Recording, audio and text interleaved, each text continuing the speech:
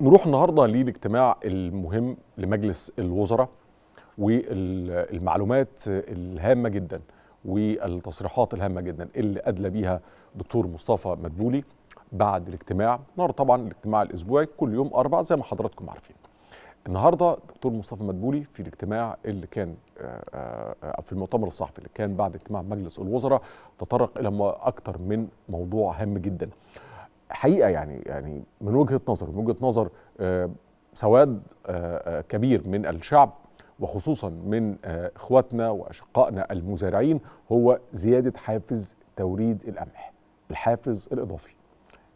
رئيس مجلس الوزراء أعلن عن زيادة الحافز 250 جنيه عن السنة اللي فاتت. السنة اللي فاتت كان اترفع كان وصل ل 1000 جنيه في موسم التوريد اللي فات في شهر 8 اللي فات.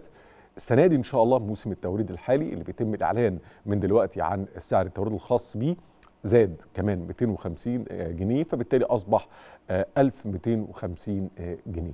فده الحقيقة بشرى سارة جدا وده كان نتيجة واستجابة للحديث اللي كان دار ما بين الرئيس عبد الفتاح السيسي وبعض المزارعين لو حضراتكم تفتكروا في شربين في شهر 12 اللي فات أثناء افتتاح الرئيس لعدد من المشروعات اللي كانت موجودة هناك ورئيس تحدث مع المزارعين هناك وبالفعل تم يعني التوقف عند هذه الجزئية وتنفيذ هذا التوجيه بأنه فعلا يزيد إن شاء الله سعر توريد اردب القمح ابتداء من موسم التوريد اللي جاي إن شاء الله عشان يبقى 1250 جنيه بدل ال 1000 جنيه اللي كانت في الموسم الماضي. وده طبعا يعني تأكيد مرة تانية على استجابة الرئيس واستجابة الدولة واستجابة الحكومة لأبنائها من المزارعين والدور الكبير الحقيقة اللي هم بيقوموا بيه في فكرة توريد القمح الاعتماد على الزراعة المحلية اللي كل ده بيحقق أمن غذائي وأمن استراتيجي في محصول استراتيجي زي محصول القمح وطبعا ليه فوائد أخرى فيما يتعلق طبعا بتخفيف الضغط على العملة الصعبة. برحب بسعادة السفير نادر سعد المتحدث باسم مجلس الوزراء. سعادة السفير نادر مساء الخير يا فندم. مساء الخير أستاذ عمرو أهلا بيك. أهلا وسهلا بحضرتك. الحقيقة كان في تصريحات كتير قوي النهارده مهمة في حديث دولة رئيس مجلس الوزراء ولكن الجزئية دي تحديدا لانها بتمس الناس كلها. ما فيش حد إما يعني لو طبعا مثلا ما بيزرعش قمح ولكن هو بيستفيد لأن الخبز ده وخصوصا الخبز المدعم بيمس البيوت كلها يعني. يعني أكيد طبعا الخبز المدعم بيحصل عليه 70 مليون مواطن مصري. م.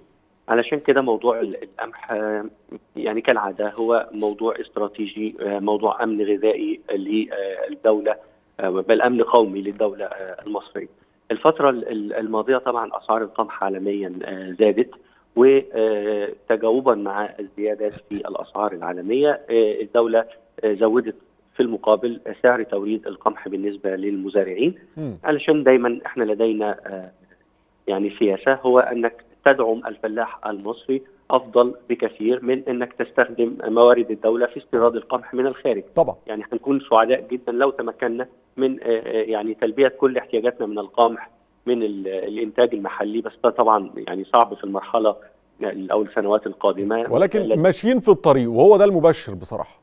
ماشيين في الطريق و و وعلى الأقل إن إحنا بنقلل الفجوة الاستيراديه قدر الإمكان م. لأن كل كل ما زادت كمية القمح اللي انت بتحصل عليها من السوق المحلي كل ما ما قلت في المقابل الكمية اللي انت بتستوردها من الخارج. علشان كده الحافز النهارده اللي وجه بيه سيادة الرئيس للحكومة بإقراره الحكومة النهارده في اجتماعها الأسبوعي أقرت ال 250 جنيه إضافية.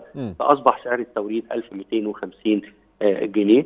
وبنامل إن شاء الله إن ده يكون حافز للفلاحين والمزارعين مزارعي القمح.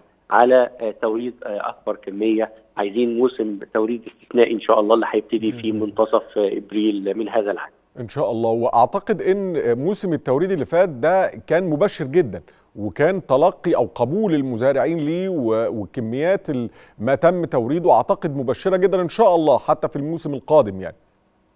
الموسم اللي فات بالفعل كان الكميات جيدة بالمقارنة بأي موسم آخر. مع ال 1000 جنيه. نتوقع إن شاء الله بعد ما زاد سعر التوريد ل 1250 ال ال يعني التوريد كميات التوريد ستزداد عن حتى الموسم الماضي. وفي كل. الأحوال الكل مستفيد. اذا زاد موسم التوريد نحن كدولة سنستفيد من إن إحنا نقلل الفجوة الاستيرادية ونوفر. آه، العملة الصعبة. والفلاح يستفيد من فارق السعر لأن اول يعني دي لاول مرة يزداد سعر التوريد 250 جنيه مرة واحدة.